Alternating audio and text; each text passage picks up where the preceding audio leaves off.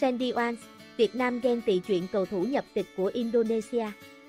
Hậu vệ Sandy Wans, sinh ra ở Bỉ, bức xúc khi Indonesia bị chê bai vì sử dụng toàn cầu thủ nhập tịch châu Âu trước loạt trận vòng loại 2 World Cup 2026.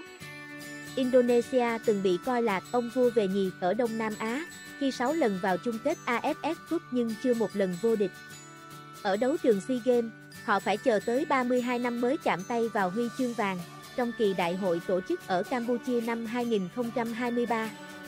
Chứng kiến các đối thủ như Việt Nam hay Thái Lan thay nhau dẫn đầu ở Đông Nam Á, có thành tích tốt ở đấu trường châu lục, những năm gần đây Indonesia quyết định nâng cấp đội tuyển bằng chính sách nhập tịch. Họ mời những cầu thủ sinh ra ở nước ngoài nhưng có ông bà, cha mẹ là người Indonesia, trở về thi đấu. Để chuẩn bị cho trận đấu lượt đi với Việt Nam tại vòng loại World Cup 2026 ngày mai, Indonesia gọi 9 cầu thủ nhập tịch là hậu vệ Sen Patinama, Jordi Amat, Sandy Wang, Justin Hamber, Jay Aidet, Nathan Joao, tiền vệ Max Lux, Iva Jenner và tiền đạo Rafael Suuk.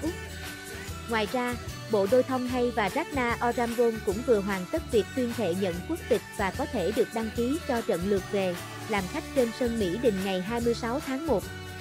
Trong buổi họp báo hôm nay tại Bungkano, một phóng viên Indonesia nói rằng Việt Nam đang chế giễu Indonesia vì nhập tịch nhiều và đề nghị Sandy Wan cho biết quan điểm. Hậu vệ sinh năm 1995 tại Bỉ, có thêm quốc tịch Hà Lan trước khi khoác áo Indonesia, tỏ ra bức xúc. Anh nói, chúng tôi có hộ chiếu Indonesia, chúng tôi là người Indonesia và vinh dự khoác áo đội tuyển Indonesia. Có lẽ Việt Nam đang có chút ghen tị vì không có các cầu thủ nhập tịch như chúng tôi. Indonesia may mắn vì có các cầu thủ nhập tịch. Chính sách của Indonesia đang phát huy hiệu quả. Tại ASEAN Cup 2023, với 7 cầu thủ nhập tịch, đội bóng xứ Vạn Đảo lần đầu vượt qua vòng bảng. Trên hành trình đó, họ giành chiến thắng 1-0 trước Việt Nam. Đó là lần đầu tiên Indonesia đánh bại Việt Nam kể từ bán kết lượt về AFF Cup 2016. Fans cho biết các cầu thủ nhập tịch như anh thích ứng rất tốt, hòa nhập nhanh với đội tuyển.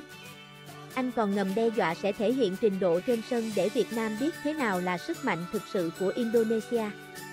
Các cầu thủ đến từ châu Âu có chuyên môn tốt, giàu kinh nghiệm, anh nói, thêm rằng đội chủ nhà đều đã chuẩn bị rất kỹ lưỡng để đánh bại Việt Nam, mang về niềm vui cho khoảng 80.000 cổ động viên có mặt trên sân Bungkano. Hiện, Indonesia đứng cuối bảng F với một điểm khi thua 1, 5 trên sân Iraq và hòa 1, một khi tới làm khách của Philippines. Họ cần tối thiểu 4 điểm qua hai trận đấu Việt Nam, đội đang đứng thứ hai với 3 điểm, để vượt lên và chiếm ưu thế trong cuộc đua vào vòng loại thứ ba. Các bạn hãy đăng ký kênh để cập nhật thông tin miễn phí mới nhất.